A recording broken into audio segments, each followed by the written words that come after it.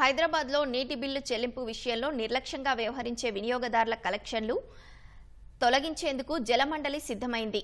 ఈ మేరకు జలమండలి ఎండీ సుదర్శన్ రెడ్డి అధికారులకు ఆదేశాలు జారీ చేశారు. ఖైరతాబాద్లోని జలమండలి ప్రధాన కార్యాలయంలో జలమండలి ఆదాయంపై జోనల్ మేనేజర్లు అధికారులతో సమీక్షించారు. రెవెన్యూపై నిర్దేశించిన లక్ష్యాల్ని ఈ నెలాఖరులోగా చేరుకోవాలని ఎండీ అధికారులను సూచించారు.